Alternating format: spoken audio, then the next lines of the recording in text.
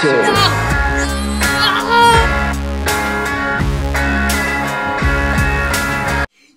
McDonald's? I'm sorry, it tastes so good.